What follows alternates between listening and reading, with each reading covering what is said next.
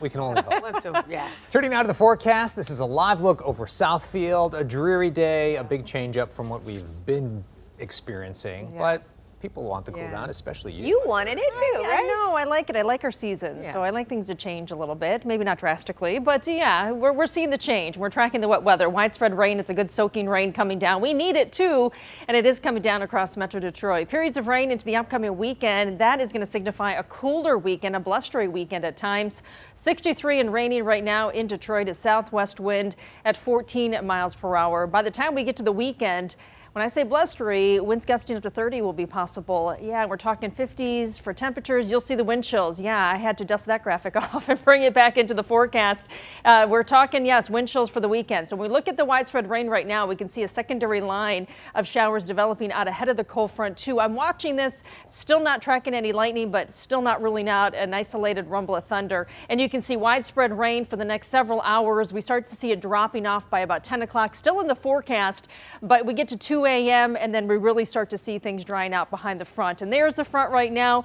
Behind it, we have yet a secondary cold front, and this is the one that's going to drop our temperatures. So we have these lining up, and we also have a blocking storm system, tropical storm on the east coast. So to get these through is going to be a slow process. I think they'll get hung up and stall out a bit as we get into the weekend. 73 in Chicago, 60 in Minneapolis and Fargo, Marquette, 55 degrees up to the north. So that transition into fall cooler weather, it is certainly there and evident on that surface map.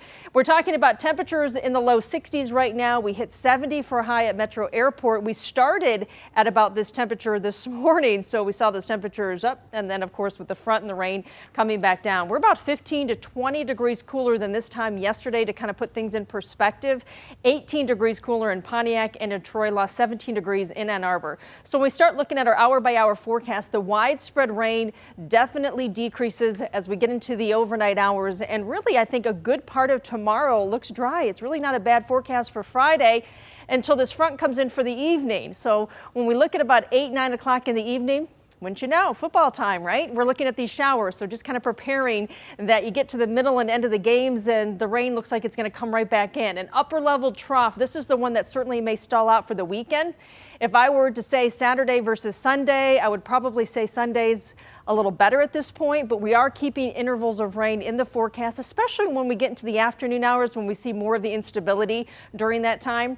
Here it is. This is our, our wind chill feature, and we're looking at Saturday. So by the afternoon, yeah, it feels like 50s, not so bad. We get into Sunday morning, and you're out and about early on, it feels like the mid 30s. So yeah, we're talking about a quite a chilly start to the weekend, and by the time we get into the afternoon on Sunday, 40s and 50s is how it's going to feel. And we know what's going on Sunday. Of course, tailgating. We have the Lions. We're going to have fun. Just bundle up.